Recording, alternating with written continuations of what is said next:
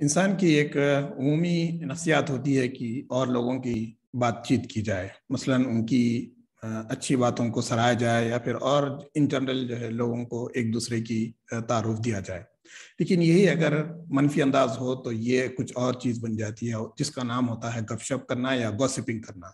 मैं आज आपको उसी के चार वजूहत बताता हूँ जो लोग एक दूसरे के लिए करते हैं। जब आप इस चैनल पर नए हैं तो ज़रूर इसको सब्सक्राइब करें ताकि आपको आने वाली नई videos self improvement self improvement और सेल्फ डेवलपमेंट की मिलती रहे। और जब आपको इस वीडियो से फ़ायदा हुआ तो ज़रूर इसको लाइक करें, औरों से शेयर करें ताकि वो भी इससे मुस्तफ़ हो। और कमेंट कर कर बताएँ कि आपको इस वीडियो से क्या सीख मिली है। और मैं रिकमेंड करूँगा कि आप इस वीडियो को आखिर से देखें, क्योंकि चौथा पॉइंट बहुत ही इंपॉर्टेंट है। आइए शुरू करते हैं। तो जिस तरीके से मैंने तारुफ में बताया कि जो बात लोग एक दूसरे से करते हैं, ये एक इंसानी रुझान होता है एक दूसरे की बातचीत करना।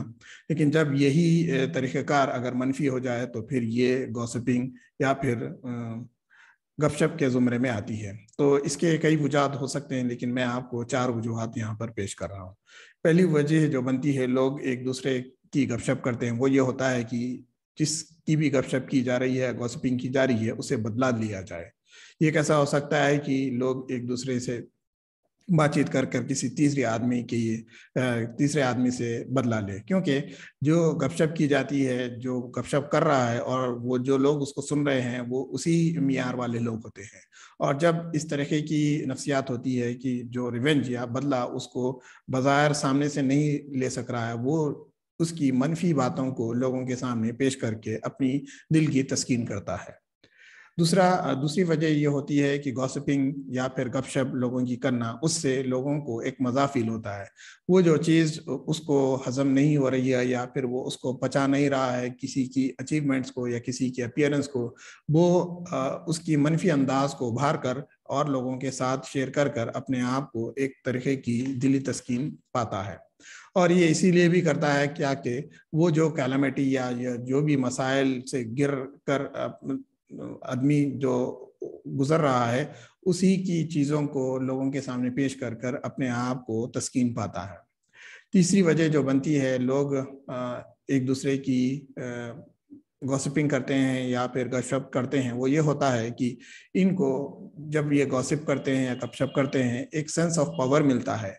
एक सेंस ऑफ़ पावर मिलता है कि लोगों की बुराई बयान कर कर वो अपने आप को बेहतर फील कराना चाहते हैं। ये सिर्फ़ एक एक परसेप्शन होता है, एक तरीके का, ये हकीकत नहीं होती। लेकिन बज़ाहिर तौर पर उस वक्त जब ये लोग करते हैं तो उनको उस वक्त एक अच्छी फीलिंग आती है और ये देर पा नहीं होती। और जो भी गॉसिपिंग करने का आदि होता है, उसके लिए मुस्बित सोचना बहुत ही मुश्किल होता है, क्योंकि ये लोगों की बुराई करता है और इसका जहन उसी की तरफ़ उस ज़्यादातर इंक्लाइन और रुझान होता है तो ये फिर मनफी अंदाज से ही सोचता है लोगों के बारे में। तो वक्तिया तौर पर तो इसको मज़ा आता है, लेकिन कुछ देर के बाद इसकी खुद जो एनर्जी और ताकत होती है, वो तब्दील हो जाती है मनफी अंदाज में और वो खुद अपने आप से घिन खाता है। चौथी जो होती है जो लोग गपशप करते हैं उसका एक रीज़न ये होता है कि जिस तरीके से नॉलेज एक पावर है लोग जो, लोगों के लिए किसी की गपशप करना एक जो है टर्बो चार्ज पावर हो सकता है। यानी कई मजीद गुना बढ़ा चढ़ा कर पावर हासिल करने की कैफियत लोगों में बज़ाहिर पाई जाती है। लोग समझते हैं कि मेरे पास एक ख़ास पावर है जो लोगों के सीक्रेट्स हैं, मैं लोगों को और बता रहा हूँ, इससे मैं एक पावरफुल इंसान करार दे पाऊँगा।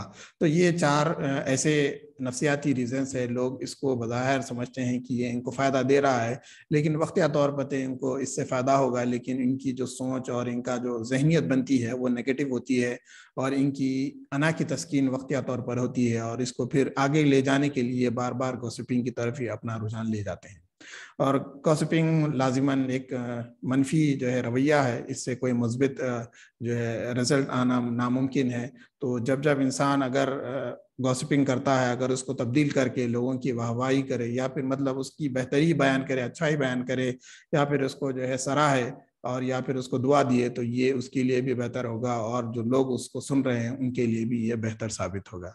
तो जब आपको इस वीडियो से फ़ायदा हुआ तो ज़रूर इसको लाइक करें, कमेंट करें, शेयर कर कर बताएँ आपको इससे क्या सीख मिली है। और अगर आपने ऑलरेडी इसको सब्सक्राइब कर चुका है तो जजाकल्ला खैर। इंशाल्लाह फिर नई वीडियो के साथ हाजिर हूँ जब तक के लिए अल्लाम वरहमल वर्का